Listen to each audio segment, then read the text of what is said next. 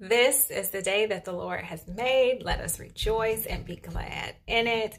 Um, yesterday, when I was in my kitchen, yesterday early in the morning, I was in the kitchen and it was just in my spirit. This is this is the season of the wolves and sheep clothing.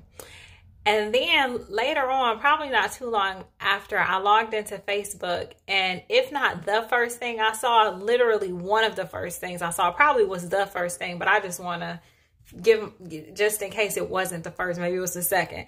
But this lady had posted about wolves and sheep clothing. And um also I had I had began to see like stuff from my past start to pop up.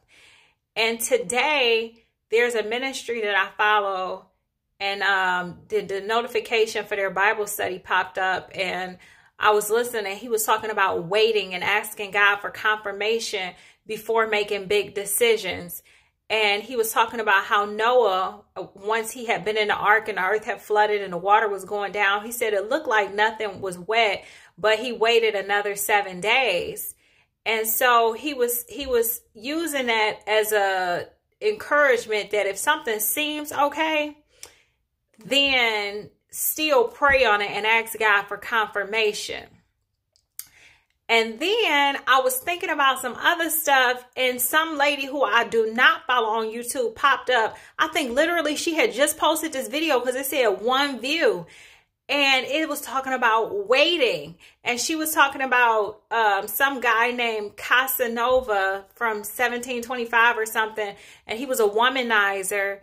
And she was using that as an example. I, I, I, she was talking about how he came off as like this very um, charming and charismatic person, but he was full of deceit and lust. And she was using that as encouragement that um, whatever it is you're waiting on God for, make sure you're waiting and you're moving only at His at His calling, and and don't fall for basically anything counterfeit. Don't fall for nothing counterfeit. She didn't say that, but I'm saying it. Don't fall for nothing counterfeit. And um, as I was praying and I was meditating, um, the Holy Spirit was just reminding me that when we pray on things and we ask for confirmation, God gives the confirmation. He gives the signs. We might not like the signs, but he gives the signs and we have to listen and pay attention.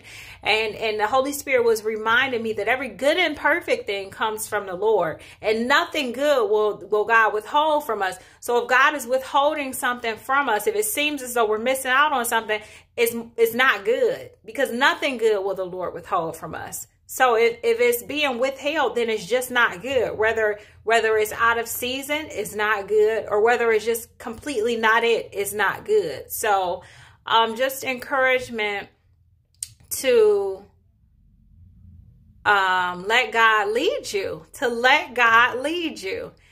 And uh don't be anxious for nothing, but in, in all things with prayer and supplication to make that request be made known unto the Lord with thanksgiving, okay? And uh, God is good. Don't be like Eve. He's not he's not withholding something good from you. If he's withholding, it's not good. All right. Be blessed in Jesus' name.